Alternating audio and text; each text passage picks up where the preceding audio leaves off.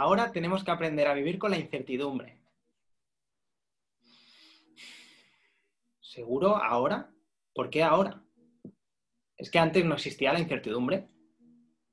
Ahora me vendría bien hacer otro vídeo de estos de perspectivas abiertas con Carlos González. Casualidad, que lo tenemos aquí. ¿Qué tal si le preguntamos y enlazamos la conversación? Hola Carlos, ¿qué tal? ¿Cómo estás? Hola, aquí estoy, ya ves. Tengo... por casualidad. El otro día escuchaba la frase, eh, ahora tenemos que aprender a vivir con la incertidumbre y me generó movimiento porque pensaba, ¿ahora por qué? ¿Y antes no existía o, qué pasaba? No sé, ¿tú qué opinas sobre esto? ¿Qué es la incertidumbre? ¿Qué, ¿Cómo se vive esto?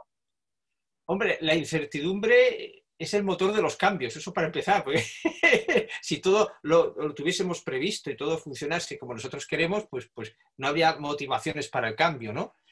Como todo depende de las dosis. Si la incertidumbre viene como un maremoto, pues, pues, se te devora, ¿no?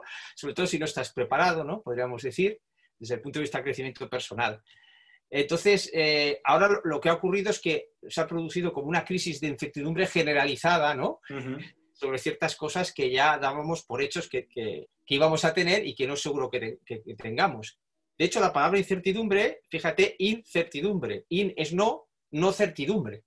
Es decir, la incertidumbre es, perder la certidumbre sobre algo, ¿no? ¿Qué es la certidumbre sobre algo? No es lo mismo que lo cierto. Lo cierto es un hecho objetivo. Es cierto que ahora estamos grabando esto y es por la tarde, ¿no? Hay luz del sol, etc. Eso es cierto, objetivamente. En cambio, la certidumbre es una cosa que depende de las creencias, de las creencias a las que hemos otorgado nuestra fe. Por lo menos yo, yo lo creo así, ¿no? Tengo fe en esto y claro, cuando la fe se te cae porque ves que no funciona, ¿no? Podríamos decir, entonces entras en un plano de incertidumbre. A nivel religioso es muy sencillo, ¿no? Es una crisis religiosa, espiritual. Y a nivel de sociedad, pues el, el COVID-19, pues varias cosas que tus creencias te decían, yo que sé, el jubilado que decía, oye, pues mira, me acabo de jubilar, esto ya es perfecto, ahora a descansar, el inserso, ¿no? a los hoteles y tal. Y de repente ves que aparece como un enemigo, que es el COVID-19, mm. y que puede acabar con tu júbilo de la jubilación, ¿no? Mm. Por lo tanto, tenías una certeza, tenías la creencia que, no es un hecho cierto, sino tenías la creencia que la jubilación la ibas a disfrutar. de eso crea una incertidumbre. Claro. Idem para los que pueden perder el empleo, ¿no? A lo mejor se han estado ganando al jefe, por decir algo, ¿no? y ahora le da igual llevarse bien con el jefe, haber escalado la empresa y la empresa quiebra, ¿no? Es decir, la fe en cosas eh, más o menos tangibles, pero fe y una creencia, siempre una creencia que aquello va a continuar, e, eso crea incertidumbres a eso unimos las incertidumbres existenciales, eh, que esas ya serían de, otro tipo, ¿no? También sería una incertidumbre, por ejemplo, cuando una persona fracasa en la pareja varias veces, ¿no? Pierde la fe en poder tener pareja. ¿ves? Entonces empieza a mirar el futuro desde la incertidumbre. Claro. Desde una incertidumbre negativa, atención, que es una cosa que ahora me gustaría discutir contigo. o, sea, yo pienso que hay dos tipos de incertidumbre, la positiva y la negativa la negativa sería la que vives negativamente. no, es lo que te pasa, sino cómo lo vives, ¿no? Y la positiva la que es un reto para crecer, ¿no? Podríamos decir. Mm. Si tú crees que ya no vas a encontrar la mujer de tu vida por decir algo, estás haciendo de lo vivido, de tus fracasos, estás haciendo una incertidumbre negativa. Claro. En cambio, si tú dices, ¿y si yo crezco? Y a lo mejor resulta que no necesito la mujer de mi vida, sino que necesito, pues yo que sé, amarme a mí mismo, lo que sea, ¿no? Mm. Entonces, tú al subir, al, experimentar un crecimiento personal, tu incertidumbre se queda abajo. Claro. Porque la incertidumbre en negativo es que sentimos que nos supera algo. Si nosotros somos más grande que el obstáculo, ya no nos supera. Pero bueno, no te dejo hablar. Adelante, por favor. De, hecho, todo esto que estás diciendo yo lo, relaciono un poco con la no normalidad, ¿no?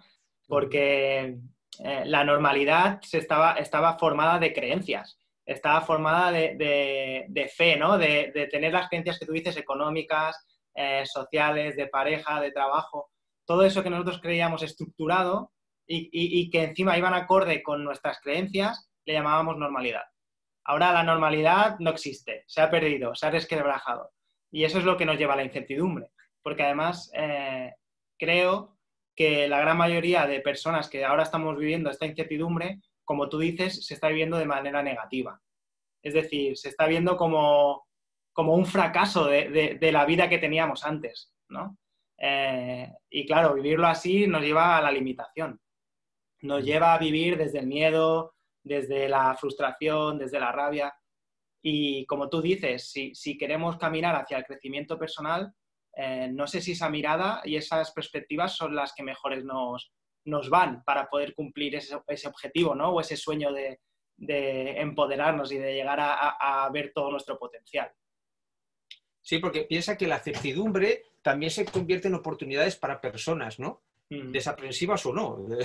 Yo qué sé, pues el que se pone a fabricar mascarillas que antes no había aquí, pues para él se ha convertido en certidumbre de ganar y de ganar durante mucho tiempo, podríamos decir. Es decir, ante una crisis hay una incertidumbre de mucha gente, pero también la certidumbre de unos cuantos que se enriquecen a, costa de, esa crisis, ¿no? O sea, pues, la, perspectiva es de cada uno se encuentra.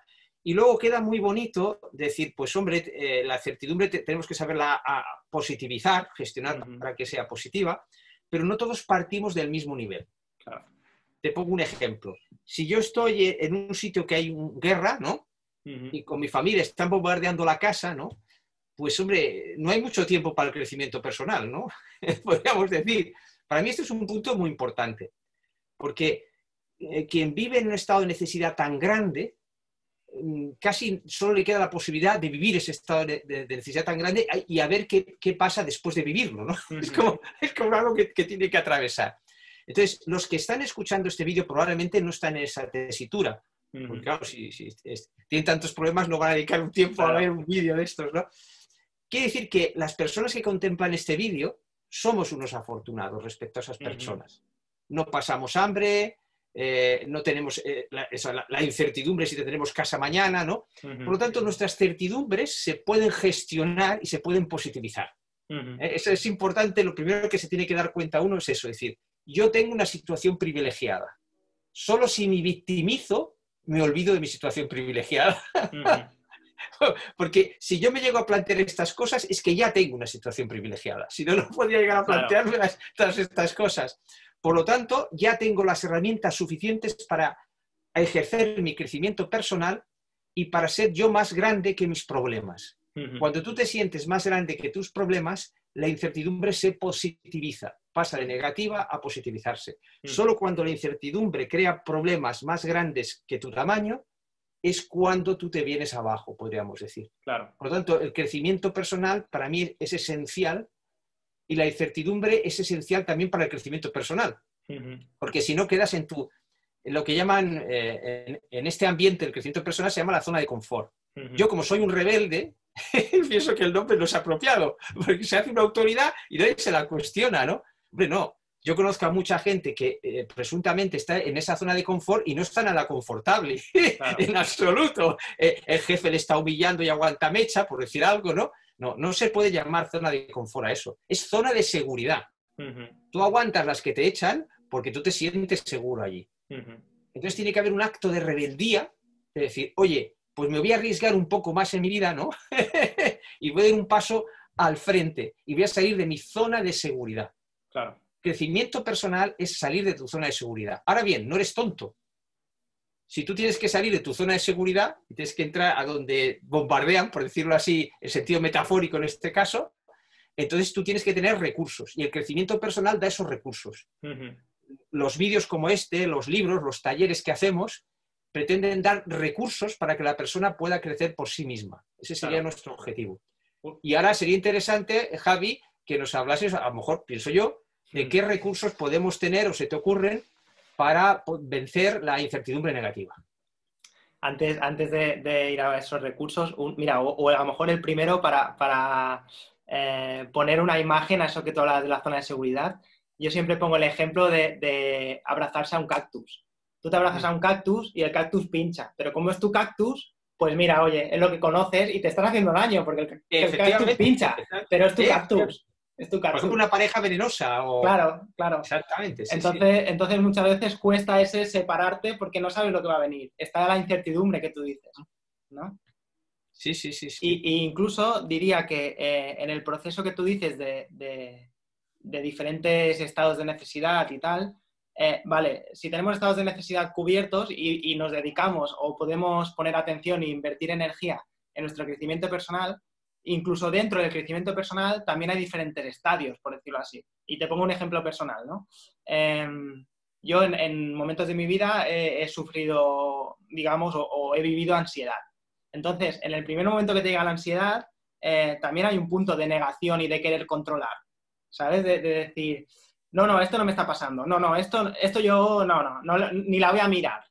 Y ese es un primer paso que nos está pasando ahora también, la negación, ¿no? Mucha gente ahora no quiere ver la incertidumbre, quiere que pase rápido, quiere eh, controlarlo todo, quiere que la solución de la vacuna o lo que sea esté ya. Entonces, todo esto hace que, nos genere más ansiedad y más estrés todavía. ¿no? Y creo que eso es importante en el camino de, crecer en la incertidumbre, que también tiene sus pasos y tiene sus, procesos. Por lo tanto, perdona, No, perdona, perdona. No, no, no, no, sigue, sigue. Que ahora iba a comentar. no, estaba, estaba pensando en que, claro, la, la certidumbre depende de nuestras creencias y cómo van variando, ¿no? Entonces se siembran creencias eh, que pretenden dar seguridad a nivel social, a nivel de, masas de, personas, ¿no? Por ejemplo, la creencia de que mm, una vacuna nos tiene que sacar de esta situación. No, estoy tomando partido, que no se me entienda mal, ¿eh? estoy hablando técnicamente. La creencia, es una creencia, no, no es una seguridad. Eso es lo primero, ¿no? Entonces, cuando uno busca la seguridad y combatir su incertidumbre mediante una creencia en la que creen muchos, por tanto muy poderosa porque creen muchos, se puede estar perdiendo opciones. Opciones la persona y opciones los investigadores en este caso. O sea, es tal la fe en la creencia de que una vacuna nos va a sacar de este caso, es tan enorme esa fe, ¿no? Tan aplastante ese pensamiento casi único, que hace que los recursos que se dedican a investigar un tratamiento pues sean mm, insignificantes casi comparados con los de la vacuna. Y voy a poner un ejemplo.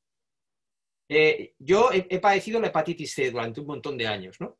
No hay vacuna para la hepatitis C. Había un tratamiento que fracasó conmigo y después de 30 años casi me muero, ¿no? Bien.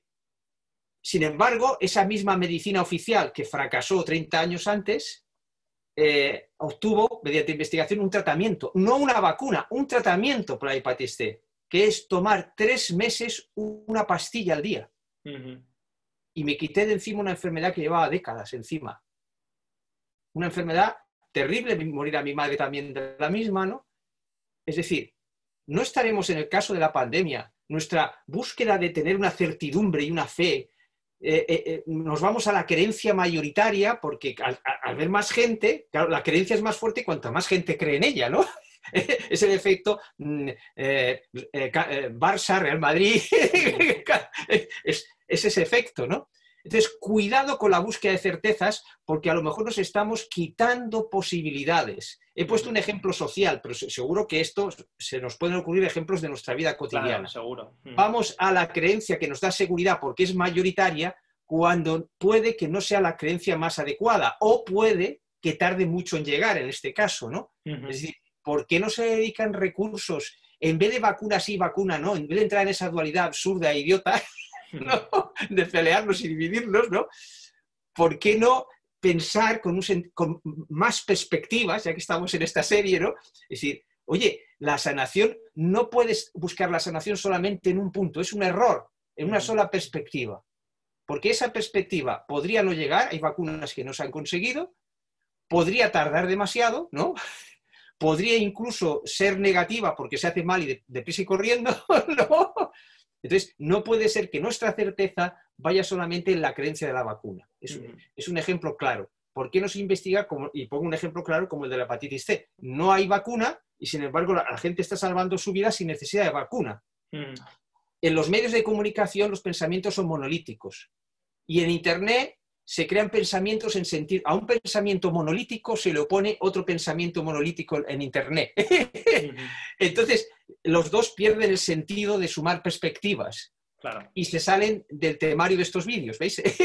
estos vídeos decir, no, es que el error es no saber sumar perspectivas.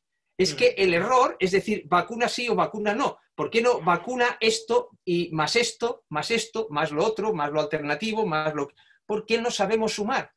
Porque no hemos definido en la democracia como un valor educativo. La democracia en su esencia es la que nos tiene que enseñar a sumar perspectivas, en vez de confrontarlas y luchar entre ellas.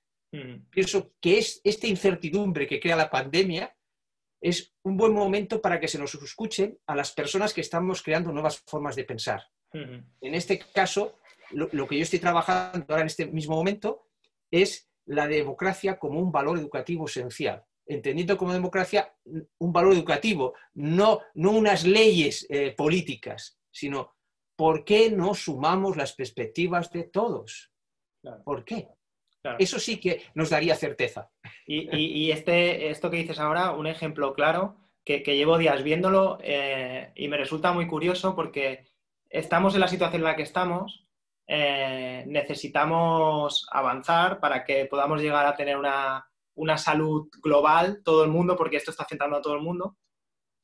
Y hay gente que centra su energía y su atención en eh, pues lo que tú dices, vacunas sí, vacunas no, también en si, es una, si, esto lo ha puesto un laboratorio o es de un animal, sí, que estas cosas están muy bien, pero en los vídeos que hacemos nosotros es como, vamos a centrarnos en, lo que tú dices, ¿no? En, nosotros mismos, en encontrar ese camino para salir hacia adelante, en, sacar todo el provecho a esta incertidumbre, ¿sí? Porque si no, yo ponía el ejemplo de, imagínate, Carlos, hay un accidente eh, entre dos coches, hay gente que está mal, que necesita ayuda, que necesita que, socorrerla, y las personas que están alrededor, en vez de ayudar a socorrer a esas personas, empiezan a discutir eh, quién tiene la culpa del accidente, olvidándose de las personas que están ahí que necesitan ayuda.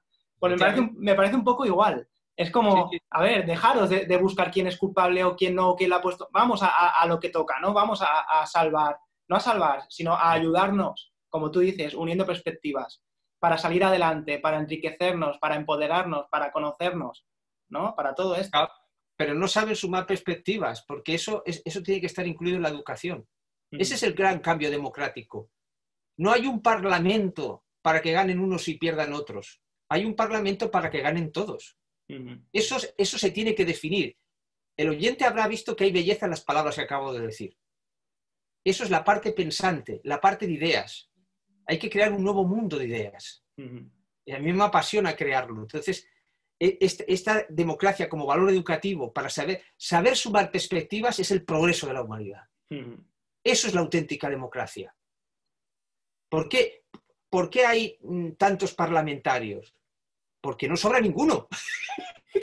es que, ¿cómo no nos hemos dado cuenta? Pues porque falla nuestra educación. Y esas personas discutiendo, el otro día un periodista de renombre decía, parece que la situación que vivimos ahora en Madrid, entre el gobierno y en la comunidad, parece que vayamos eh, los de Madrid vayan en un avión y, hay un accidente, un motor, los motores fallan y, oyen por la radio que está discutiendo el piloto y el copiloto qué hacer. claro, eso ya es la incertidumbre negativa subido al máximo, ¿no? es decir, pero ¿por qué son incompetentes? Porque no saben. basta de atacar a las personas. Si es que no sabemos, no sabemos comportarnos democráticamente, no sabemos sumar. Solamente sabemos pelearnos para que una perspectiva gane con la otra. Y ya en, nuestra primera entrega hablamos de los hijos de las perspectivas. Mm, sumar perspectivas a veces no, no, es sumar literalmente una perspectiva de otra, es que tengan un hijo diferente a los padres, pero los padres han colaborado en la concepción. Eso es la democracia de corazón, la democracia esencial. Para mí es un tema obsesivo porque no podemos progresar eh, enfrentando nuestras perspectivas. Es que es, como una frontera que hay que pasar. Y no sabemos sumar las perspectivas porque no está en nuestra educación. Nuestros políticos no saben. o sea, los habrá más o menos incompetentes, puede que ahora se hayan juntado todos los más incompetentes, eso nos tememos, ¿no? Eso crea mucha incertidumbre, pero es que no saben sumar perspectivas. Ni siquiera los buenos saben sumar perspectivas. Por eso, esta serie de vídeos para mí es tan importante que, los dotemos de contenidos, ¿no? Y en el caso de la incertidumbre, ahora tenemos que ligar perspectivas e incertidumbre. Y te paso la pelota. a ¿cómo ligas perspectivas e incertidumbres así? a, a Mira, te, diré, te diré. Una, una de, porque al final hemos dicho que la incertidumbre está, está llena de creencias que, que hemos perdido la fe, ¿no? Y, y subo de octava la palabra incertidumbre y juego con incierto, pero no como algo no cierto, sino in, de interior, de, nosotros, de ser humano, cierto. Es decir, que hay de cierto en nosotros, ¿no? O en nosotras. Y me gustaría partir de, diferentes máximas que el, otro día eh, me venían, ¿no? Y, son perspectivas muy amplias, pero que nos ayudan a ir cambiando em, de lo incierto, de lo no cierto, a lo incierto que hay, a lo cierto que hay dentro de nosotros, ¿no? Por ejemplo, primera máxima que, a lo mejor creo que no tenemos integrada, y es que todo cambia, ¿no? Esto parece muy, muy, muy de nueva era o muy, pero es así, o sea, todo cambia, nada se mantiene estático, ¿no? Esto lo hemos hablado muchas veces. Incluso las células de nuestro cuerpo van cambiando, ¿no? Y no somos, no, tenemos eh, certeza sobre esta creencia, es decir, la decimos muy banalmente, pero es muy importante. La segunda, eh, que la vida es un misterio. Y esto lo hablábamos también en el segundo vídeo que hicimos, ¿no? Eh, en el Guerrero Pacífico de Dan Millman dice que la vida es un misterio, no trates de resolverla. Pues esto es un poco igual, ¿no? Céntrate en, ti y no trates de resolver cosas que a lo mejor ahora no podemos resolver, ¿no? Y la tercera, que me parece muy importante porque lo relaciono mucho con el, el no sacar el provecho de la incertidumbre, es que tenemos un punto de vulnerabilidad como seres humanos. Que hay una pequeñez en nosotros que seguramente si la vemos y la reconocemos, nos abrirá unas puertas a nuestra gran eh, magnificencia, por decirlo así, ¿no? A, todo nuestro poder, a todo nuestro empoderamiento. Y creo que esto, como punto de inicio, es clave para poder gestionar esa incertidumbre. Eh, porque queremos controlar. Hay una frase que me gusta mucho que es, tranquilos y tranquilas, nada está bajo control. ¿no? Es como decir, suelta, porque hay cosas que no vas a poder controlar, que no van a pasar como tú quieres. ¿no? Las expectativas que tenemos y las creencias que tenemos seguramente eh, no siempre se cumplen de la misma manera que nosotros hemos dibujado, ¿no? Y eso es importante. A partir de ahí, eh, lo incierto, lo que hay cierto dentro de nosotros, empieza por reconocer nuestro poder, reconocer nuestra capacidad, nuestras habilidades. Hay mil, mil ejemplos. Te podíamos, poner el ejemplo de Joe Dispensa, ¿no? Por ejemplo, eh, que con una lesión y, con un trabajo mental consigue recuperarse de esa lesión. ¿no? O, diferentes personas que, les ha pasado eso, que dentro de la incertidumbre y conectando con su vulnerabilidad, le han dado la vuelta como a un calcetín para poder encontrar todo su potencial. Y eso me parece espectacular. Bueno, eh, me parece, tus tres puntos eh, me parecen fantásticos, ¿no? Habrá que rotularlos en el vídeo, porque son, eh, pienso que el que esté viendo esto son tres puntos a trabajar, me, parece fantástico. Mm. Y cuando has hablado del misterio que somos, eh, yo creo que el misterio que somos hay dos posibilidades. Vivirlo como algo mm, que produce incertidumbre, si somos un misterio. O sea, mira, todos los filósofos del mundo, todos los maestros del mundo no han resuelto ese misterio. O sea, no nos mm. engañemos, ¿eh? porque aquí se forman clanes de este y otro. Oye, mira, Todas las religiones no han resuelto el misterio ni toda la filosofía. Pongamos pie en tierra. Somos un misterio el ser humano, ¿no? Y aquí estamos. y como misterio no podemos ser fruto de la casualidad. O sea, ahí ya, para mí está claro, ¿no? Entonces, ante que somos un misterio, pues tenemos un problema de identidad, porque como no sabemos nuestro origen, hay un problema esencial de identidad. Intelectualmente no sabemos definir nuestra identidad y hacemos proyecciones en clanes, etcétera, etcétera. Entonces, claro, como tenemos esa insatisfacción de, no resolver e-, ese misterio esencial, creemos en religiones, filosofías, ideologías que pretenden decirnos qué es ese misterio. Pero es que si es un misterio, es un misterio. Entonces, yo pienso que no debemos creer a las personas que digan que han resuelto el misterio de la vida porque entonces la vida ya no sería una aventura y esa persona que haría aquí. Parece una lógica impecable, ¿no? Es decir, aquí hay un misterio y lo que más une a todas las personas del mundo, piensen lo que piensen, es que nacemos del mismo misterio. Estamos aquí, tenemos un olvido, ¿no? A uno le dicen, mira, has vivido otras vidas, a otro no has vivido otras vidas. ah, bueno, muy bien. ¿Y en qué creo, no? claro, el escéptico vive en, absoluta incertidumbre, porque es terrible. Y el creyente vive en un exceso de certidumbre. Atención a esto. Fijaos, los extremos es la trampa. Una gran incertidumbre es imposible de gestionar lo que te decía, te están bombardeando tu casa, mira, claro. déjame yo aquí a ver cómo sobrevivo. Mm. o sea, una gran incertidumbre, malo, es un maremoto. Pero ojo con las certidumbres excesivas, porque una certidumbre excesiva es el efecto talibán. ¿Qué es mm. un talibán? El que cree que conoce el gran misterio y se lo quiere imponer a los demás. Por lo tanto, yo lo que propongo es lo siguiente. Acepto que no sabemos resolver el misterio entonces lo que tenemos que hacer, en, vez de creer ciegamente en algo, que mañana puede ser creer en otra cosa, porque claro, ¿por qué va a tener razón uno y no va a tener el otro, no? ¿Por qué no convertir ese misterio en una aventura a vivir y a disfrutar? Esa es la acción de Educar Empoderando, la, formación que he creado. El misterio no resuelvo, puedo sentirlo. Sé que tengo una identidad desde el sentir y que es única e intransferible. A partir de ahí ¿por qué no jugarla? Entonces, convertir la vida en un juego, en una aventura, no significa pasarlo siempre bien. Indiana Jones no lo pasa siempre bien. ¿Pero qué convierte a Indiana Jones en Indiana Jones, amigos? Pues que él cree en sí mismo.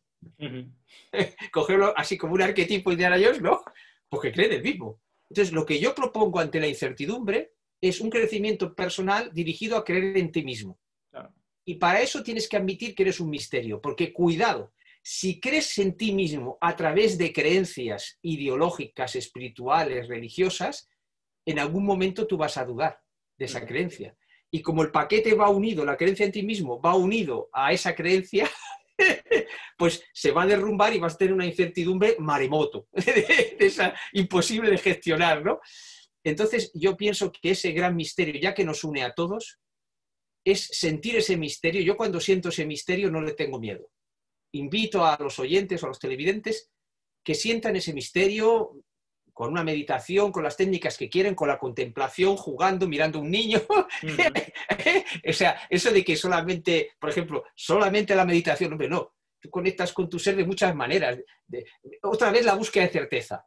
Quien no medita no puede progresar, o quien no hace esto, hombre, no. Tú tienes que buscar esa seguridad interior por el camino que te sea más adecuado para ti y permitirte errar y fallar. Cuando tú conectas con ese misterio, dejas de temerlo y lo conviertes en, un juego, a partir de ahí la vida es una aventura. Y cuando tú tienes una incertidumbre, es decir, un obstáculo que no sabes si lo vas a salvar, eres Indiana Jones. Dice, hombre, la gracia está en que no sé si lo voy a salvar. Precisamente ahí está la gracia. Y el disfrute está en no saber si yo voy a vencer este obstáculo. La derrota ante este obstáculo me abre un nuevo juego. No termina el juego. y si gano, me abre un nuevo juego. Luego, en esencia, nunca pierdo si vivo el misterio de la vida como un juego. Y eso es lo que yo propongo, abierto a todas las personas que tienen un mínimo de seguridad, es lo que os decía antes. Y yo pienso que los que están viendo este vídeo no les falta un plato de comida, si no lo estarían viendo este vídeo, ¿no?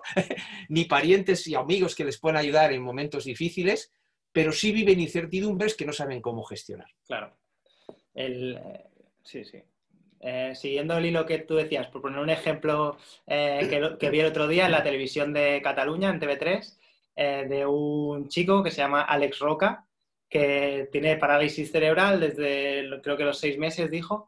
Y por supuesto, ya sabéis que las personas que tienen parálisis cerebral, pues normalmente tienen unas limitaciones físicas muy grandes. Pero Alex Roca se dedica a hacer trialdones, a correr, a nadar en el mar. Y el otro día salía con, con sus padres en este programa que os digo.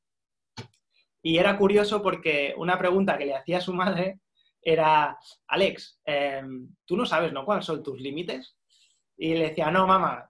Y entonces esto me hizo pensar, porque relacionado con lo que tú estás diciendo ahora, em, con la sabiduría del niño que tú decías de jugar y también la sabiduría del adulto, ¿no? El hecho de poner estructura y de poner ciertos límites, em, me venía la, la reflexión de, es diferente ponerse límites porque en una incertidumbre muchas veces nos ponemos límites y no nos permitimos mostrar nuestro potencial, no nos permitimos creer en nosotros porque creemos en las cosas que están alrededor, que están fuera, como son diferentes creencias, no es lo mismo eso, poner límites, que descubrir los límites. Indiana Jones creo que descubre los límites. Él quiere encontrar una piedra filosofal y se lanza por ella. Y luego descubre que le persigue una roca, que los, diferentes límites que puede tener para encontrar eso. Y, pero es diferente, porque eso es la sabiduría del niño, que es lo que tú dices, Carlos, es jugar, es me lanzo a la aventura. Mira, no sé dónde voy a llegar. Empiezo a caminar por aquí y por este camino. Me voy a encontrar diferentes cosas que a lo mejor me gustan más o menos, pero voy a disfrutar del camino. Y, esto es muy importante porque eh, cuántas personas de los que nos están viendo, de, los que conocemos, nosotros mismos, nos hemos permitido esa aventura y ese jugar. Nos hemos permitido ese dar pasos sin saber bien a dónde vamos, pero disfrutando cada paso. Sí, sí, bueno, me gustaría para equilibrar eh, que, hay que, Mm, has sacado un tema interesante, la seguridad de las edades y, gestionar las incertidumbres. Has abierto un melón que no se me había ocurrido previamente, pero es, muy interesante, ¿no? Entonces, el, vivirlo como una aventura, etcétera, mm, eh, sería la parte de gestión de la sabiduría del, niño, ¿no? Pero ahora, ahora vamos, te invito a, este reto, ¿no? Es decir, ¿cómo podríamos añadir otras edades? A ver, el adolescente se me ocurre. Pues mira, el adolescente en su prepotencia cree que lo puede resolver todo. Eso es un desequilibrio, pero llevado al don, si hacemos el viaje del desequilibrio al don, yo, creo que están conectados, significa la confianza en ti mismo. Claro, el adolescente desequilibrado resulta que empieza aquello pensando que lo sabe hacer y luego se viene abajo porque no lo sabe hacer, ¿no? Pero eso es el indicio de que está buscando qué? ¿Qué está buscando el adolescente sin darse cuenta? está buscando su seguridad interior. Como no la encuentra, la finge. Por lo tanto, llevado a la sabiduría, el creer en que en, nosotros mismos, en tener en fe en nosotros mismos, sería la parte de la sabiduría de la adolescencia. La del niño sería el vivirlo como una aventura, disfrutar, el niño en el obstáculo ve un reto y, lo disfruta, subirse una silla, lo que sea, ¿no? Claro. Y, el adolescente es creer en ti mismo. O sea, ya hemos sumado pues dos sabidurías de las edades. Ya te paso la pelota, nos quedan tres edades, a ver cómo pueden ayudarnos a gestionar. Recordamos que la idea es gestionar positivamente nuestras incertidumbres. Bueno, ya, que, ya que hemos empezado por la del niño, la del adolescente y la del adulto, sigo por la del anciano. Y, esta, eh, diría que esta tal vez es la perspectiva más abierta de todas, porque, porque es el don de haber pasado por muchas experiencias para poder todo, para poder ver todo desde una distancia tan amplia que te permite eh, darle la importancia justa a todo lo que tiene. Eh, al final es la sabiduría, una sabiduría experimental, diría, porque, porque te, permite eh, quitarle quilates a esa incertidumbre. Me parece, yo he sentido como muy cierto lo de saber dar peso a lo que verdaderamente es un problema o no. Lo has dicho de otra manera, pero creo que, por ahí va la cosa, ¿no? Mm. Porque la, idea de las seguridad edades no, es sumar experiencias, en este caso, sino una forma de mirar, una perspectiva, mm, una forma de mirar y de sentir la vida. Eso es, ¿eh? podríamos decir. Entonces, e, el viejo eh, si lo pensamos físicamente, claro, han pasado las otras edades. No, sin pensarlo físicamente. El viejo tendría una visión holística y equilibrada de los problemas. Ahí es donde, ahí pienso que has dado de lleno, ¿no? Entonces, cuando uno tiene incertidumbre, a veces lo que sufre es un desequilibrio, porque está dando una eh, importancia excesiva a algo. Se me ocurre un ejemplo. Eh, las chicas adolescentes que todo el mundo conocerá alguna, yo tengo una sobrina, pues que es guapísima y se, y, se opera los labios para tenerlos más gordos, por decir algo, ¿no? Es decir, pues claro, esto es fruto de una incertidumbre mal gestionada, ¿no? Porque toda la familia decimos, es la más guapa de la familia, de verdad, es que, ya quisieran otras, ¿no? Es que es una cosa absurda. Entonces, ella, al no tener confianza en sí misma, de alguna forma, hace, hace esa proyección. Entonces, convierte un problema donde no lo hay. Genera una incertidumbre donde no hay incertidumbre. Por lo tanto, la visión del anciano, eh, apoyándome en lo que has dicho, ¿no? Sería decir, oye, de todos estos presuntos problemas, ¿cuáles verdaderamente son problemas? Claro. y cuáles en realidad los he desvirtuado y no son auténticos problemas. Y ahí estaría la sabiduría del anciano. Del ¿no? anciano, sí, sí. Y, y luego se, me ocu- se me ocurre el- el- la última, vamos a por la última. Hemos dicho que habían. No, quedan dos. A Cinco, ver, queda no, el eh. maduro y, y el, y, el, y el- la fetal. La, ta- la Vale, yo el, maduro no, esa, esa no me la sabía. iba, iba a la fetal, iba a la fetal. Bueno, e- entre el adolescente y el viejo, ¿no? Llamémoslo Vale. como Bueno, el adulto, sí, hemos hablado del El adulto. adulto. Sí, sí, sí. Eso, el adulto. Solo, solo queda la, eh, la de la fetal. Y, y el adulto. No, porque el adulto, el adulto hemos dicho que ponía la estructura y, los límites de una manera como responsable, ¿no? Es... Bueno, has pasado muy deprisa por el Bueno, adulto. pues ¿eh? luego, va- luego vamos, luego vamos ahí. Luego vamos y matizamos más. Vamos a ver que parece que la fetal tienes. Fetal, Sí, sí. el nombre no es muy fetén, no es fetal. Pero bueno, la, la etapa gestante en la que Sí. estamos dentro del vientre de la madre, ¿no? En la gestante se me ocurre, fíjate, tiene seguridad de comida y tiene seguridad de hogar, que es lo que hemos dicho antes, ¿no? Por lo tanto, las necesidades básicas las tiene cubiertas, Muy bueno. pero crece en la oscuridad, crece en la incertidumbre, porque no sabe lo que viene después. Él está eh, eh, dentro de la barriga con su seguridad y no sabe lo que va a venir después. Y su crecimiento personal se produce en esa incertidumbre. Hasta que da la luz y llega al mundo, ¿no?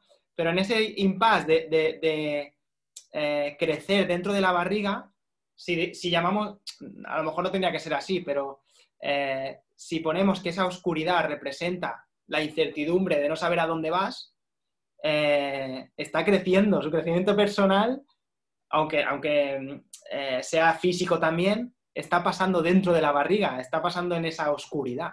Y eso me parece genial. Que su fe está en creer en el poder de crecer. Claro, El adolescente sería creer en ti mismo y la gestante lo que cree es en el crecimiento, en el poder de crecer. claro. Muy bueno, oye, esto merecería la pena apuntarlo. Esto lo estamos, es un ejemplo de cómo estamos creando algo que no conocíamos. ¿eh? Esto también es muy de educar empoderando. Es, empezamos a hacer, sobre un tema, empezamos a hacer lecturas creativas y, y- y- y estamos generando un conocimiento que sentimos dentro de nosotros, ¿no? Claro, claro. Y entonces so- solo necesitamos una pregunta o algo que nos motive. de- de hecho, por eso se complementan tanto educar empoderando como el valor de ser humano, porque al final para sentir tu valor aquí en esta tierra y en esta vida necesitas empoderarte. Necesitas trabajar, eh, eh, sacar esos dones de cada parte de ti, ¿no? Y las edades son partes de nosotros, son dimensiones de nosotros, del ser humano. Claro, el valor de ser humano. Es, es- que es, es- es un, un poco la, eh, la formación que estás creando, ¿no? Sí, Podríamos sí, decir. sí. La mirada que está- estoy construyendo y estamos construyendo porque entre nuestras charlas también se construye. Ah, vamos a tener un hijo, ¿eh? Está bien, ¿no? O sea, educar empoderando y el valor de, de ser humano, Mm, eh, charlamos y tenemos un hijo. Es, es- es un eje- es una escenificación de lo que hablamos en el primer encuentro de, Sí, de las sí. perspectivas, ¿no? que, que tienen Creamos hijos. perspectivas, no nos peleamos tú y yo con las perspectivas, sino que intentamos sumarlas y crecer juntos. Sí, sí. Este sería un claro. Imagínate que todos hiciesen lo mismo. Mm, Todo el mundo, el mundo alternativo, oye, hablemos a, a un vídeo como este, partido por dos lados, es que es perfecto. Nos ponemos y vamos a tener un hijo. Y no salimos de aquí hasta que no tengamos un hijo. Sería fantástico, ¿eh? Tú imagínate los políticos, ¿no? Interesante. Y la tuya, y aquí hace falta tener un hijo, porque no podemos imponer ni la tuya ni la mía. Vamos a poner un hijo.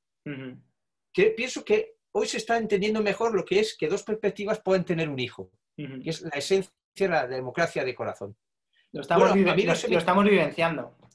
Exactamente. Y simplemente dejándonos ir, porque hemos hecho el trabajo previo de, de- de nuestras respectivas eh, creaciones, ¿no? De, de ideas, y ahora las estamos poniendo en marcha y en conjunto. Es- Sí. Realmente es, es, es delicioso, ¿no? Pero a mí no me gustaría terminar el vídeo sin, sin dar la, la oportunidad al adulto. ¿eh? Hemos, o sea, recordemos al televidente que vamos divagando, porque esa es la libertad, ¿no? Es Ujú. fantástico, pero estábamos en cómo puede ayudar la sabiduría de las edades a gestionar en positivo nuestras incertidumbres, ¿no? Y nos quedaba matizar un poco más la del adulto, ¿no? A ver, la, la teoría del adulto, teoría cambiante, yo no educar el poder, todo es cambiante y ampliable, ¿no? Pues es el que genera la estructura, eh, incluso en las edades físicas, la etapa adulta, pues, pues mira, ya estás pagando la hipoteca, tienes casa, ¿no? es la que genera una estructura, ¿no? Entonces, em, para gestionar la incertidumbre, eh, la, la seguridad del adulto nos proporcionaría crear estructuras de pensamiento, de emociones, en las que nos pudiésemos sentir seguros en medio de la tempestad. Esa sería la labor de- de- del adulto. Claro, el televidente dirá, ¿y por qué no me das recetas? Porque creemos en ti, televidente. Claro. Tienes que descubrir tu valor. Claro, el valor de ser humano lo tiene el televidente. El de empoderarse lo tiene el televidente. Claro. Entonces, claro, eh, la- la- lo, lo que queremos es, es, mm, eh, dar ideas para que encuentre su propio poder, el, el televidente, su propia sabiduría. O sea, ¿cuándo necesitas más tu propia sabiduría? Cuando hay incertidumbre. Porque fíjate, en la situación que política ve- venimos en en España con la epidemia, dice, bueno, ¿a quién creo? ¿A este o al otro? ¡Eh! En el caso de Madrid, ¿a este, al otro? Imagino una persona totalmente, los ancianos ahí mirando el televisor. ¿eh? Claro, fíjate una actitud interesante. Los acérrimos de un partido o de otro, su certidumbre está en ser de uno o del otro. Entonces no harán una lectura crítica de los suyos, sino que dirán que tienen razón y el otro es el que se equivoca. Estamos hablando del ejemplo de Madrid, ¿no? Que están luchando, por- por- porque nos pueden escuchar de fuera, está el, el gobierno, digamos, em, eh, federal, por decirlo en un lengua- lenguaje, ¿no? De Madrid y, y el gobierno español. Eh, entonces son de partidos diferentes y, y- y ante- y te- hay problemas con la epidemia, se están matando allí, ¿no? Entonces, pensemos, ahí se crea una incertidumbre. Pero fijaos, el problema no solo, no solo la incertidumbre, es también la certidumbre excesiva. Atención a esto. Entonces, el que es del gobierno español, del partido del gobierno español, eh, en este caso del PSOE y del PP, ¿no? Se llaman aquí en España. El, que es del PSOE acérrimo dice, no, se equivoca el otro, es que fíjate, es que, y, el del PP dirá, se están equivocando el otro. Y hablo suave, porque hablan más de equivocarse, ¿no? Peleándose, matándose, ¿no?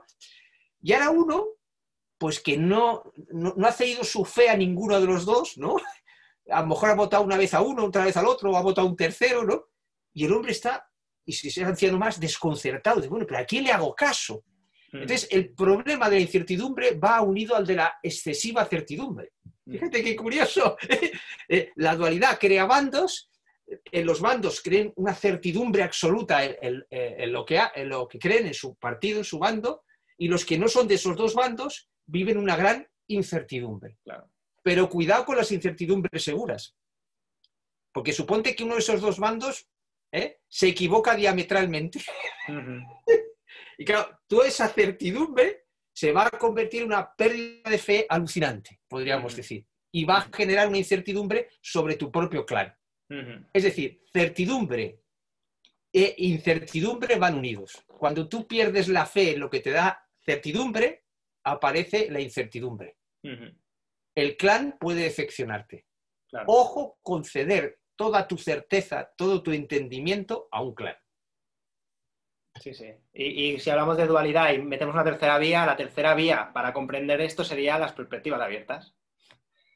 Eh, Exactamente, exactamente. que, Ujú. que- que- que esa es la idea, ¿no? Es decir, que, o sea, hemos hablado de una seguridad interior, que eso es un trabajo personal de cada uno, ¿no? Pero lo podemos complementar con más cosas hacia afuera. Si yo tengo criterio propio, implica creer en mí, está, está ligado, ¿no? Entonces no tendré problema en sumar mi perspectiva con la del otro. ¿Cuándo seré más reacio a sumar mi perspectiva con la del otro? Cuando yo le haya cedido mi poder a mi perspectiva, mi Claro. identidad, entonces Claro. yo no puedo ceder con el otro. En cambio, si mi poder está en mí y no en la creencia que estoy usando, yo esa creencia la puedo cambiar. Claro. O sea, la sabiduría de que estamos hablando es la de los hermanos Marx.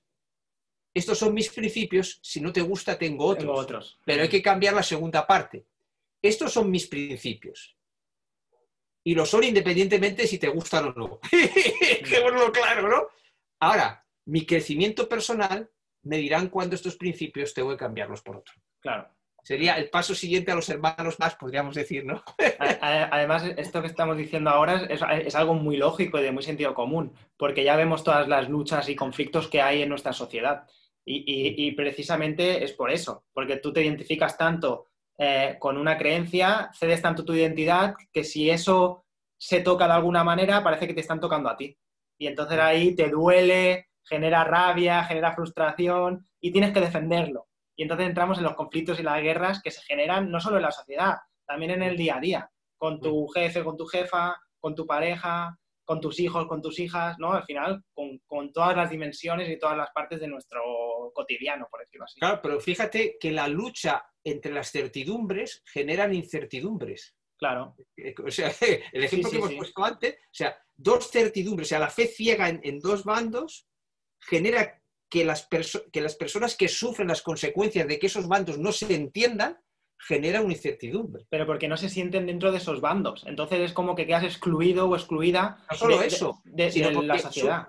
No, no, porque sufren el que no tomen decisiones. En este claro, caso, claro. no solamente que no estés en esos bandos, vale, eso ya estaría acostumbrada la persona, pues no soy de ningún todo bando, porque diga lo que quieran, no. El caso es que esos dos bandos gobiernen lo que sean y te crea un problema, una incertidumbre que tú no has creado esa incertidumbre, pero que tú vas a tener que gestionar. Esto es muy importante. Hay incertidumbres que nos vienen dadas por la forma de proceder de otros y que eres tú quien va a tener lo que gestionar.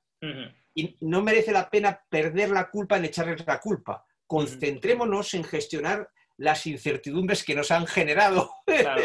para, mí esto es, importante. para darle un punto, un punto de cierre a esto, Carlos, es que gran, cosas de, gran parte de las cosas que nos vienen en la vida eh, seguramente eh, no vienen porque las hayamos elegido, ¿no? Tú ahora hablabas de la política, pero si hablamos del virus o hablamos de diferentes catástrofes naturales o hablamos de enfermedades diferentes, si no tienes la conciencia de que tú te creas esa enfermedad o, lo que sea, ¿no? La creencia, eh, hay muchas cosas en la vida que nos toca gestionarlas y que realmente nosotros, al menos de manera consciente, no hemos elegido.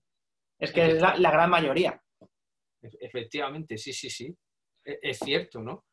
Entonces, claro, eh, hay que también examinar para qué hemos sido educados.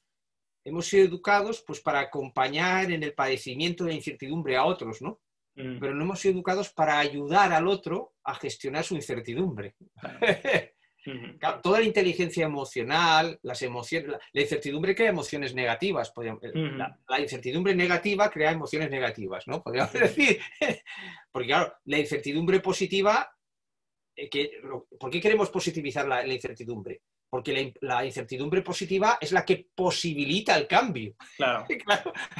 si yo ya sé el resultado de una cosa y no aventura ni nada. O sea, muy importante. La incertidumbre, no lo hemos dicho, eh, pero es muy importante, la incertidumbre positiva va ligada a la libertad. No hay libertad sin incertidumbre. Si yo sé el resultado de algo, no hay libertad. sería cuando dice, eh, eh, por ejemplo, lo que preguntaban a un maestro de la India, ¿qué es lo que existe? ¿El libre, el libre albedrío o, el destino? Y él se empezó a reír a partir de risa, ¿no? Diciendo, pero no, son dos caras de una misma moneda. Es que necesitan las dos. Es decir, en nuestra vida hay algo pronosticado, es obvio, porque hemos nacido en una cultura, en una lengua, en una familia, es obvio que hay como unos puntos inalterables probablemente por los que tenemos que pasar, ¿no? Y, o sea, yo es lo que llama, yo la vida veo como unos puntos inalterables que están diseñados y que en principio no conocemos, pero cuando ocurres dices, ostras, eh, ahora tiene sentido. Mm. Se le ha muerto un hijo. Oye, es que tenía que pasar por aquí. El que se le ha muerto un hijo y le ha convertido en un crecimiento personal sabe que eso era un, punto inevitable en su vida. Estaba diseñado. Luego, luego hay un diseño en la vida, pero dentro de ese diseño hay también una libertad. No hay libertad sin diseño. Por lo tanto, no hay libertad si todo es certidumbre. Sería negar la libertad libertad e incertidumbre van unidos. Si se desequilibra la incertidumbre es muy grande, ya no piensas en la libertad. Si la certidumbre es, la certidumbre de un talibán, tú, tú, has perdido tu libertad. Un talibán no tiene libertad. O sea, ojo, el exceso de certidumbre acaba con la, acaba con la libertad. El exceso de incertidumbre también, porque claro, no puedes crear nada, tienes que refugiarte de las bombas. E, esos dos polos es muy importante tener en cuenta. las palabras no caminan solas, las palabras caminan unidas. Incertidumbre y libertad están unidas, son dos caras de una misma moneda. Muy bien. Pues nada, Carlos, que la incertidumbre no sea propicia, ¿no? Y, no, nos ayude a crecer. que, a todos nuestros seguidores, si es que los tenemos, es una incertidumbre. que no queremos controlar. que no queremos controlar, pero que bueno, cierta certeza sobre esto sería Está bien. pero la incertidumbre, no saber a cuántos vamos a llegar, a, a quiénes les va a servir todo esto, nos permite la libertad de seguir probando cosas en nuestras perspectivas abiertas. Así que deseo a todos los televidentes pues felices encuentros con sus incertidumbres, que sean eh, encuentros que les hagan crecer y encuentros en los que ganen libertad. Muchas gracias por escucharnos. Hasta la próxima. Hasta la próxima.